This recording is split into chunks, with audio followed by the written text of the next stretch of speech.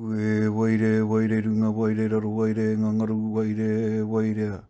Waire angaru nui angaru roa waire kia tau mai te mauri, he mauri ora. He mauri tiaki mai nei te ora kapute ia hānuku ia hārangi ko ia ko te haora o te tangata. Ko wahaka ki, ko taringa ka mau, ko wānanga ka hua. Ko ia rāe rongo whakairi ake ki runga ki a tīna whāno whanake tū mai te toki a haumi e. Hui e, tai ki e. Kia ora. Welcome to the Whakapuawai podcast series developed by the Centre for Indigenous Psychologies. During this series, we aim to deepen understandings about what Indigenous psychologies are and why they matter.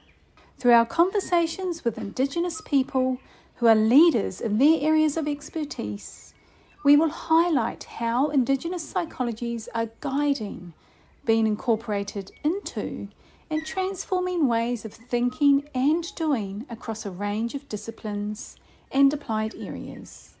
So join us on this journey as we delve into the varied worlds of Indigenous peoples and better appreciate how Indigenous psychologies are affecting positive change in Aotearoa, New Zealand and beyond.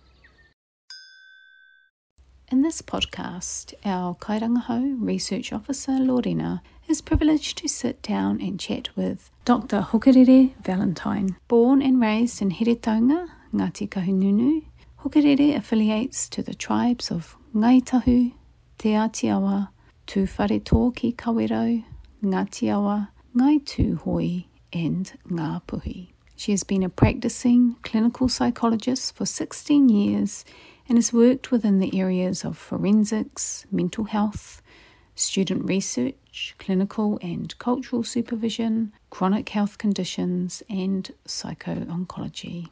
Hukarere is currently the Haumaru Tautoko Hauora within the Health Conditions and Cancer Psychology Services in the Massey Psychology Clinic on the Turitea campus. She's also involved in the clinical psychology training program at Massey University with a specific focus around the incorporation and advancement of a bicultural component within that program. Her research interests centre on the consideration and development of Māori models of psychological practice, and she has a particular passion for wairua and well-being. Among her many talents, she was the first Māori wahine to graduate with a doctorate of clinical psychology at Massey University, and she also has recently authored a number of book chapters as well as a seminal journal article based on the findings of her doctoral thesis entitled Whakairea Kirunga, The Many Dimensions of Wairua. Please enjoy this kōrero between Lorena and Hukarere. Kia ora and welcome Hukarere. It is an honor to have you here with us at the Center for Indigenous Psychologies, sharing you kōrero as part of the Whakapuawai podcast series. Welcome. From the practice of, of clinical psychology, through the research, through the teaching, through supervision, through all of that, what is it like in the sense of being a, a Wahine Māori to be in those spaces, to to be who you are in all of those different um, parts of your mahi? That's an interesting question, eh? You know how I how I actually got here to begin with, uh, which is probably really really important, and it, and I share the story in my thesis. Um, so it's an old story, but it's it's an it's an important one um, so I grew up in in a, in, in a very rural environment. My um, my grandmother was a ringatu from um, the Bay of Plenty. She was raised in Kahungunu. That's a whole different story. Um, her and her four cousins were literally brought to Kahungunu to keep the connection between Te Wharetua and Kahungunu. Okay. Yeah, that's what it says in her whakapapa book. So um, my grandmother was a ringatu, my grandfather was a rātana, so my parents were very much culturally steeped, yeah. one of a better word. Back, back then, though, I didn't, I had no clue about colonisation because it was very rural. But in any case, I, my grandmother was, was a, a healer and she came from a, li- a lineage of tohunga. Um, and so apparently she knew that and there were a whole range of things that happened with me. So she followed me and did things with me that I later learnt was her way of being able to to keep keep aligning where I'm supposed to be because she knew what I was supposed to do. And I thought, yeah, I was a lot older by then, and, I, and she'd passed away by the time I figured that out. But in any case, I, I grew up with Wairua experiences, mm. so I, they were a natural part of my upbringing to the point where, you know, I could have these conversations and these challenges with, with what would look like to the outside world. I'm having this challenge with myself, but that's me questioning. So I knew that at some stage I was going to end up at a university. And back then I didn't want to.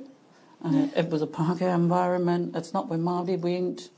You know, all the colonial sort of stuff that comes with that. Yeah. Um, but I knew that it was going. So I decided, in all my wisdom, back in the teenage stage when you know it's all about you and a bit self-centered. So I decided I was going to challenge the universe. And so you give me all of these things, and I'll go to university. And then I thought, hmm, that's pretty clever.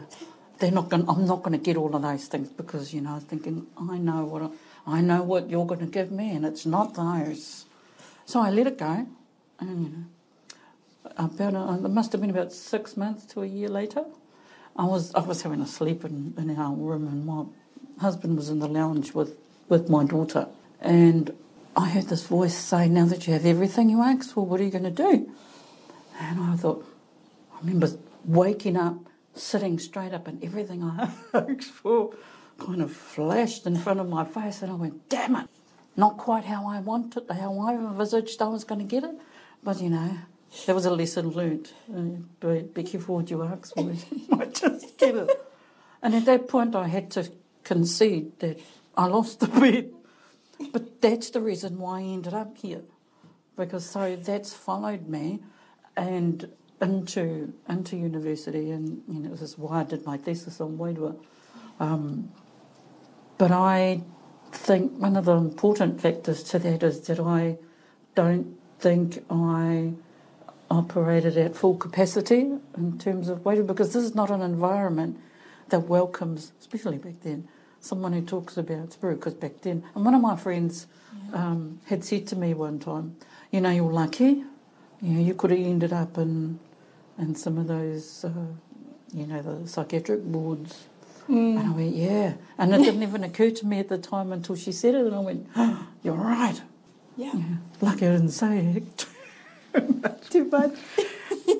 but it, that that was you know so I think what I I focused on that and it stayed a bigger part of why I was here, not necessarily anything else. Mm. I was going to get through because I told them that I would do it, not necessarily because I had to engage it. Because what I should have done back then was engaged with what does that actually mean, and you know all the researchy stuff that we do now.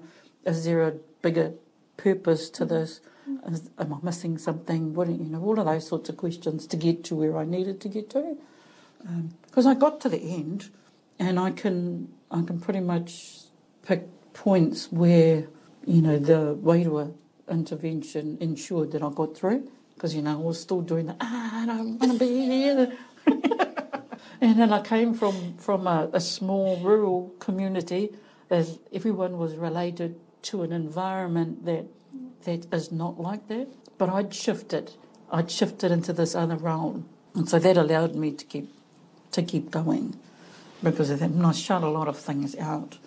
And I and I remember reading parts of your thesis and and and absolutely it, there is a for me a seminal piece is a transformational piece in this field. One of the professors at the time had said to me, because I went to talk to her, and she says to me, Whatever possessed you to do such a difficult topic?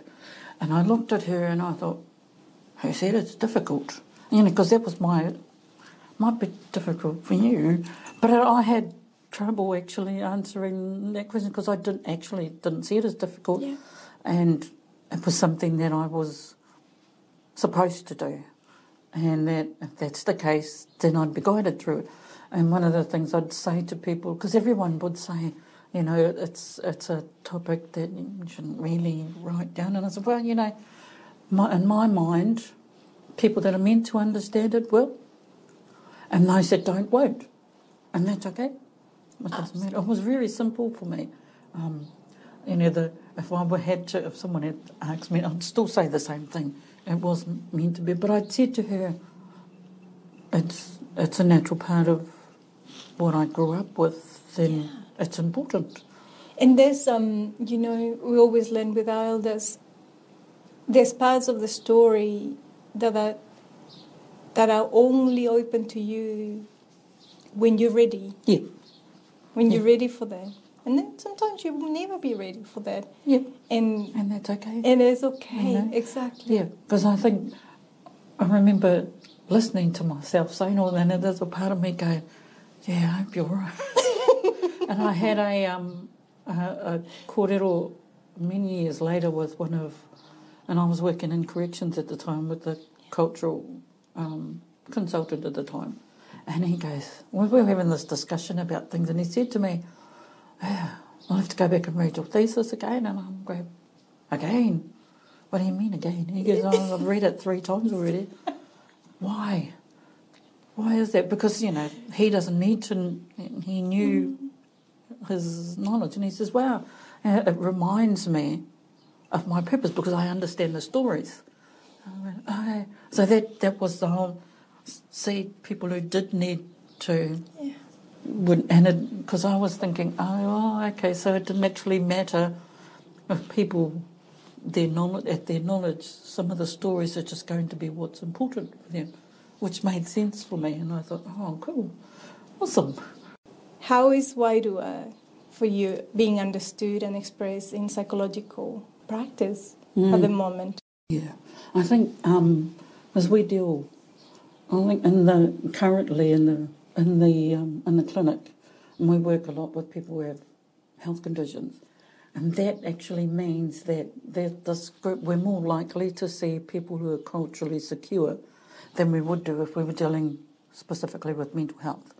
So we've had people that are very steeped in their in their indigeneity, a better word, who who have come, and sometimes I've um, shifted into because I'd walk in and you know, sometimes it's not as easy to to gauge. But I think I remember one. This was many many years ago.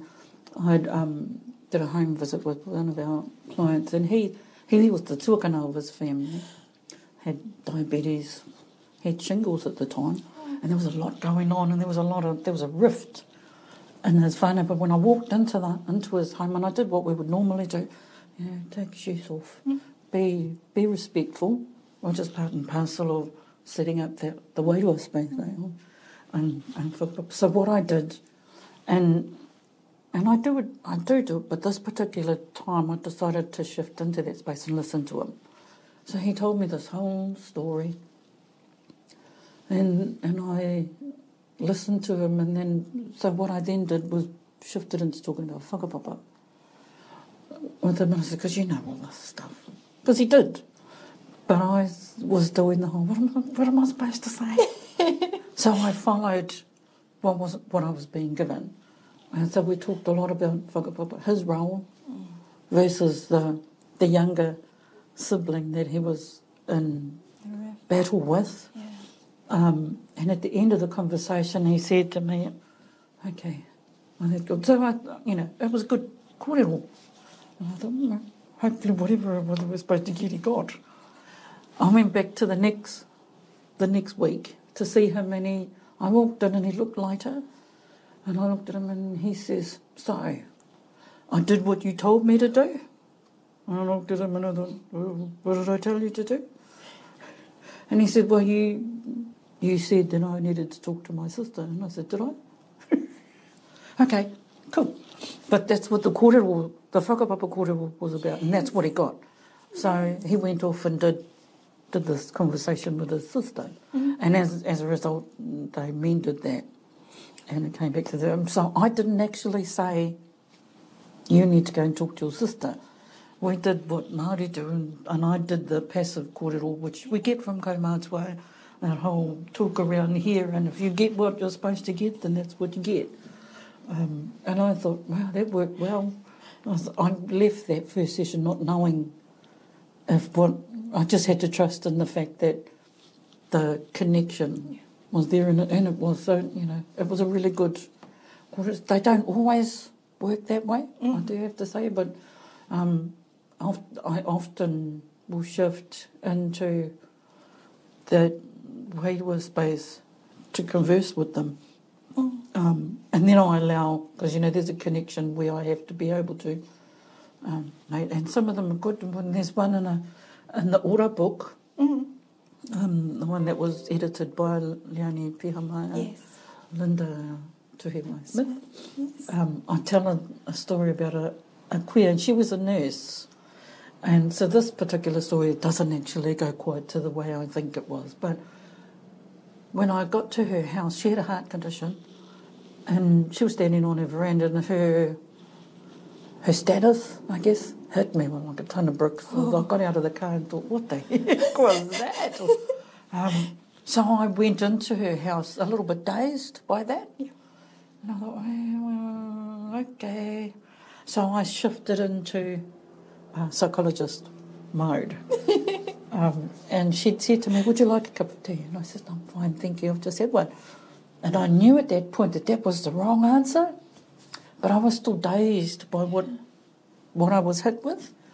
And so we carried on talking. She was asking me who I was, what I was doing, and that, that continued. She said to me, What about a glass of water? So I'm fine, thank you. Fine. Mm. And I thought, shut up. Stop saying that. but, you know, we carried on. And then the third time she said to me, What about a cake? I've just baked a cake. And at that point it dropped. And I went, I'd love to, thank you for it, And she did. So we shifted into, and then we, sh- I realised, which I haven't put in the chapter, but what I realised was happening was I was mirroring what she was feeling in her health condition. She was stuck, because she's a nurse, she's a registered nurse. She knows her stuff, and yet she was lost in this fact that she's got this health condition and she didn't know what to do about it. And so I was mirroring that which is what happens sometimes when you, you know, when you're with whānau and there's a wairua experience you can feel there. Yeah, but for me it was, I had to experience that to be able to help her to shift out of it. Does that make sense? Entirely. So I, I said, I used, I then used, because she was very Māori, Yeah. says if we talk about the stages of te pō, and uh, te kore versus te ao marama and these spaces that we shift into, and the te pō spaces, the chaos, you know, where we're going through stuff. She goes, yeah, and I said, so where do you think you are in your journey? And she looked at me and she goes, hmm, nobody's ever explained it to me like that before. I went, "Oh, I hope that's a good thing. and she goes, okay, if I think about that, then that means I'm right, right next to the door, Oh, shifting into. And I went, oh, that's a good place to be. I said, a good place to be. And she goes, I guess. Well, what do you need to do to get through the door? And she goes, well, I think I just need to ring my my specialist up, have an appointment with him, and get things sorted. Okay, sounds pretty simple. Let's do that. You know, we spend most of the time with me trying to get the the message of just have the cup of tea. I contacted her a couple of weeks later, yes. and she goes, "Oh, okay, well, this is really bubbly." And I said, oh, "You sound good mood." She goes, "Well, I'm off to Australia next week." And you're going to condition. You're going to. Oh, that's good. And so things went well then. And she says, "Yep." I rang the cardiologist, had a sat down with him, got him to tell me straight, sorted a few things out, and I'm good. I went, okay. Uh, and I, I remember thinking at the time, now, had you have accepted the first cup of tea? but I, I still think that when I needed to go through that to actually get the full extent of what was going on, well, to feel it, to share it, and then to be able to have this, you know, that Māori space where you're sharing that with them and to shift the dynamic, if that makes sense. And I have no doubt people to read that and think, yeah, you should have known better. But that's why I think I had to go through it. Because sometimes I, I have this whole um, naivety in, in that space, and it's not until later that I actually realise why it happened the way it happened.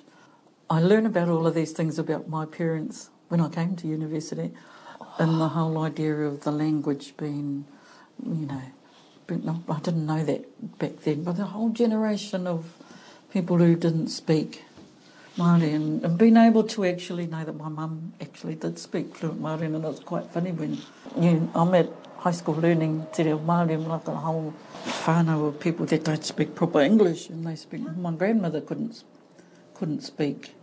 My, my grandmother spoke good English except when she was angry or when she was highly emotional.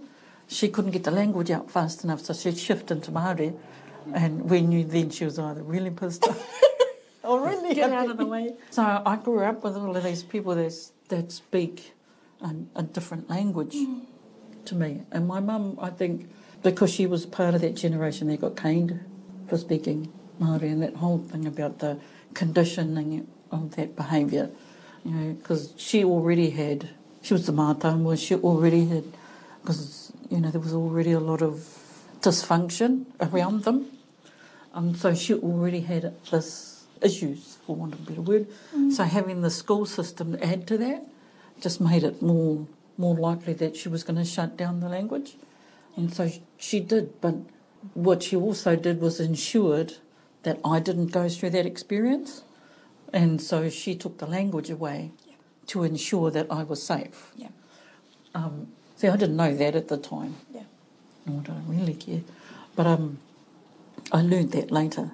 Because then my mum did the whole I can't, I can't be anything other than Māori because my language is part and parcel of who I am, and so I have to accept that I'm a deficit because these people keep telling me that every time I speak who I am, they keep attacking me for it.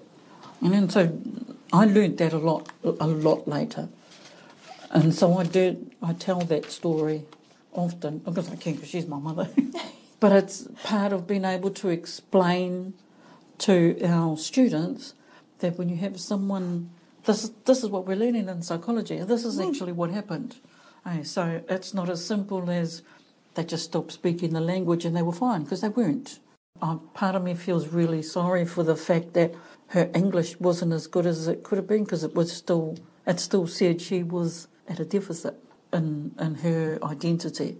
And so part of my ability to be here, and I say to people, I speak fluent English uh, by force, not by choice. It's the truth. Mm. If I had a choice, I'd speak both languages fluently. And I says, I, I can speak Māori, but not to the level that I can speak English. Yeah.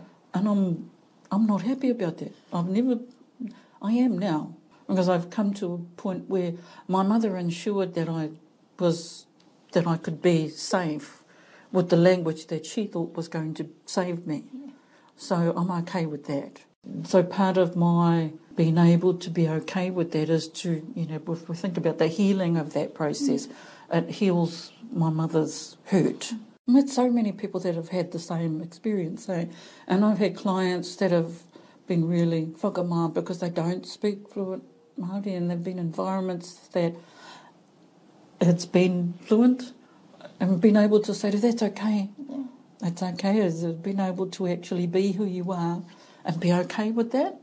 So part of the the healing and the and the psychological session mm. is to actually help that because those some of those people, not everyone, because some people do challenge it. And I said, but those that have been raised with it and those that are positive will not question you. They won't put you down. And some of that is actually coming from you. So we've been able to heal that part of, of them so that they can keep, well, not the whole thing, but at least start the journey yeah. for them. So sometimes the therapy is as simple as being able to actually talk that story, because some people don't actually know that story. And so sharing that story with them and being able to get them to see that it, they were doing that to keep you safe, you know, and, and if they'd have known then what they know now, they may not have done it, but they didn't. They didn't know that. They could only work off what they were working with. You know, and, and so some of that hara, I guess, is part of my journey to heal so that it doesn't end up with the next generation. Yeah. And yeah, like my kids speak fluent Māori, but being able to actually remind myself that that racism is still actually there and being able to help that generation to actually work through that. In psychology, the undergrad sort of stuff, and some of that helped me to to understand what was going on. We think about behavioural modification and all that. But I already knew, I already knew that, but adding that knowledge to it, being able to actually put the language to this is what was happening, and you know, and being able to actually express that with our students, and so, you know, we talk about conditioned behaviour. Yeah. You know, she she leaves home speaking Māori, goes to school, gets caned for Māori, stops speaking Māori, goes back, speaks English. Family don't actually know what she's talking about, so she has to shift Switch. back into Māori, and then she forgets, goes back to school, speaks Māori, gets caned for it again, and so there's this whole cycle. Before you know it, there's these classical conditioning, and these this has been paired with that, which gives you this particular behaviour. Yeah. And says, and that's just my mum. Yes. And you imagine all of her siblings had that, and then you know the cousins and all of that. So some people maintained their their ill for for whatever reason that was, but there are other things around that that made it more likely for this group for this group of people to not speak their language in, in the open. And but being able to understand that, I had to actually come to uni to to see all of that in the full extent of it. And when I first actually realised it, I remember getting really pissed off. You know, part of it been o- over time, being able to say, you know, the, the glass half full mm. versus the glass half empty. And my mother did what she did because she that's all she knew. And that and that was fine. And I knew that she was doing it because she cared for me and she didn't want me to get to have to suffer the same thing that she did. It would not have happened, but it might have happened differently. You know, so she couldn't take that chance. So she did, and with my, if I think about the idea that my mother, because my mother was, a, she was quite funny. You know, we, we would have, she would attack the different environments. Pākehā people scared her, mm, and I mm. understood why because they were the ones that caned her Yep. at school. So anxiety, she would shift into a different person when she was speaking to Pākehā. We knew when she was on the phone speaking to someone that wasn't Māori because her language would change and her whole self would change. And at the time it was quite giggly, you know, because she's talking to someone. But as I learnt more about psychology, I realised that that was anxiety uh, because, or trauma, because she'd been caned by these people. But if you put her in front of, you know, Māori, and she wouldn't back down, because in an environment where that made sense for her and it, it was who she was, Yes. there was no way she was going to back down. So we had this, these two different competing personalities Yes. that that existed. You know, like, I remember there was a time when um, there was a there was talk of someone had been going around at all of our homes and, and it wasn't a good thing. Mm. Could see them outside and this one particular night one of my nephews was standing he was only three at the time he was standing up and he could he was looking out the window because we live in the country of course and he kept saying koro and my brother realised then there must be somebody outside and my mother saw that she gets up goes turns the light goes out to the door and all you saw was this person running across the paddock and we're like mum don't you might get hurt and she's standing there you know expletives right across the paddock and ready to chase them across the paddock and I was thinking you know then reflecting back on that I was thinking so this person Yeah. didn't have a problem with challenging that, but this other person could not survive effectively Yeah. in a Pākehā environment because it scared her. You know, and so those being able to understand those are part and parcel of my journey is to be able to be comfortable in this space because it's something that she needed to heal that process. That? Absolutely. It reminded Yeah. me of, you know, when we talked earlier about um, when Te at the Maramatanga session was talking about ehe, te wehi and one. And I remember thinking, it, I missed half that conversation because I was too busy thinking about the next example with my mum.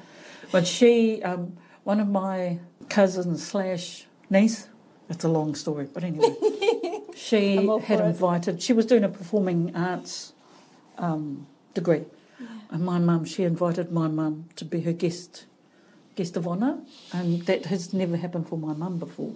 And we all went, but my mother was the guest of honour, and she managed to sit somewhere else. So we were all whānau sitting there.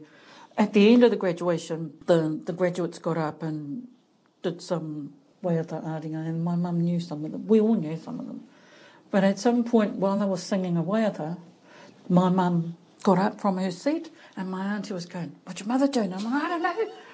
And my mother, my because there's my whānau mother, my biological mother, she looked at me, What's your mother doing? I don't know. She got up off her seat, walked down the aisle, walked across the front, onto the walked up onto the stage and performed with them. And we were all sitting there going, oh, no, what the heck? Because that's not my mother. She She's the person who stays in the kitchen, stays out of, and directs from behind. Yep. She doesn't like being in the limelight. So for her to actually get up in front of a whole auditorium of people and ignore them and go right up onto the stage and perform was interesting. 'Cause we were all sitting there looking at her going, what the heck just So when we afterwards, when I got chances, I looked at her and I said, "What was that?" And her response to me was, "Well, when you feel the he, you have to follow it." And I looked at her and I was going, the, the psychological part in me back then was going, "Okay, so how do you enhance that so that you do that all the time?" Because that doesn't happen all the time. Mm-hmm. What are the factors that led you to recognise that it was that? That led you to shift into this other person that didn't care who was all around. Um, but there were a lot of things to that. She had to be of the right environment. She was already in that space of reciprocity because she'd been an honoured guest. So she was already thinking like that. It was a totally Māori environment. It was full of whānau. And then there were a lot of things that led to the fact that it was going to occur. Yeah. We were just going, she's not going to do that. You're going to... And it was, it was interesting. It stuck with me because I remember, remember continuing to think, what is that? Well, what do you mean? And I knew what it was, but her being able, you know, if, if I had, if she was still here, I would have then I went back to her and says, we need to talk about what are those things that led to that, whether she knew what they were or not, because they're second nature for her. Yes. But that's that was the the thing that, about my mother. She existed in two different spaces. Amazing, and being able to actually think if she was able to work through the trauma um, and what difference would that have made for for what was normal for her. But one of the things I often talk with some of my Maori clients about, especially when they have trouble with uh, Pākehā environments, Mm. and well, usually it's the doctors and the, the hospitals and stuff. And I've said to a few, you know, one of the things that we have is we, when I go to the doctor, I realised at one point that I shift into a different person. So I get to the door and I make a decision on whether I take the cultural person with me in or not. And sometimes I leave their cultural person outside because it's not safe for them in there. And I shift into the Pākehā person that they need me to be. Yeah. And will that person that will be safe enough to engage with them? Yeah.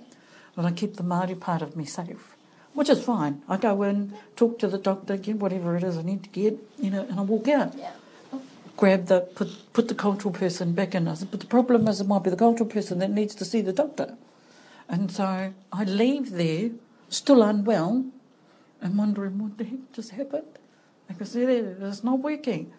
And that's because I'm not engaging fully in this process. There's only part of me that's in that session with them. And in being able to actually express it in, in that way, then people have been able to go, yeah, that makes sense. So, so what do you need to actually take that, the whole of yourself into that space? And how do you know when you've done that? And part of my my mother's age, because they would get dressed to the nines to go and see the doctor. And, you know, I realised that at some because my mothers, because of the way they were raised and what they were raised in, and their connection to the to the lineage, their doctor, the doctor in their mind was a tohunga. And so any doctor that they saw, that's their vision.